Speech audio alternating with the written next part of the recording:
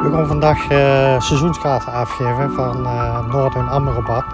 Die, die gesponsord heeft uh, namens de VVV Foundation voor mensen die het, die het nodig hebben.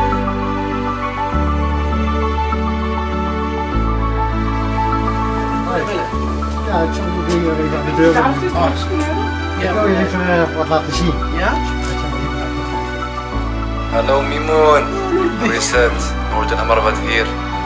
Je maakt me al acht jaar gek voor kaartjes. Elke keer als een vriend van me of een bekende van mij tegen VVV speelt in de cool, bel je me Noordin, please. Bel Mimoen Mahi van Groningen. Noordin, bel Hakim Ziyech. Noordin, bel Abiat van Utrecht. Bel Ayoub van Feyenoord.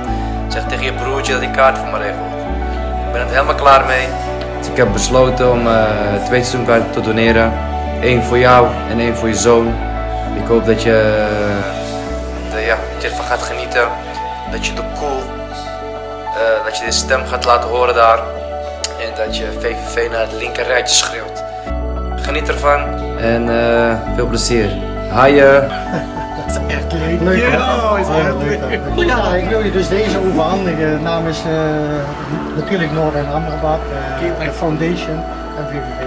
Oké, okay, dankjewel. Heel dankjewel. Echt denk ik mag dit aangeven. Ja, nee, doe zo hè.